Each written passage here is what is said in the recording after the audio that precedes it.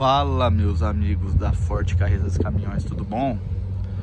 Hoje eu tô trazendo um implemento, vamos dizer, meio novo no cenário aí, que é o Rodocaçamba Ice.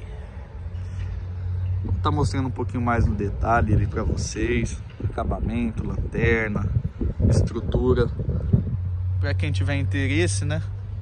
Ou saber de algum que está vendendo, ter um pouquinho mais de noção do implemento. Pegou o Fusquinha do BL. Mas vamos lá. Ó, começando aqui na parte da frente, o pistão é IVA. Já é um ponto bem, bem positivo. A carreta surpreendeu bem a gente também. Em termos de acabamento. Ó, chassis.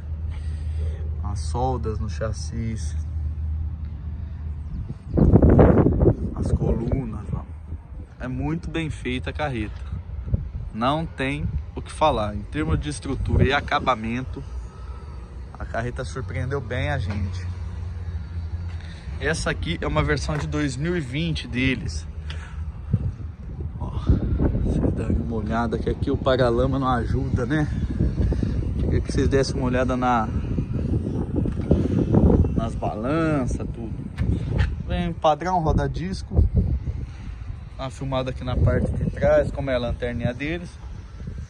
É bonita, a lanterninha é bonita. Aqui o acabamento em metal deles, né? a marca. Tampa traseira, ó, é. Aqui também, outro pistão IVA. Não muda muita coisa.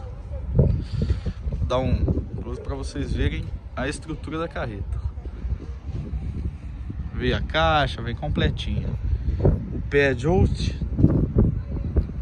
né? aquele pé horrível da Noma, aquele pé teles lá que não acha peça nem que pague.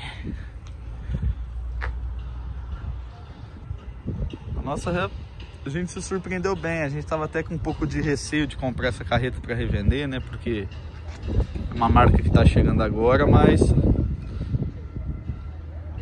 a gente foi teve uma surpresa muito positiva com essa carreta.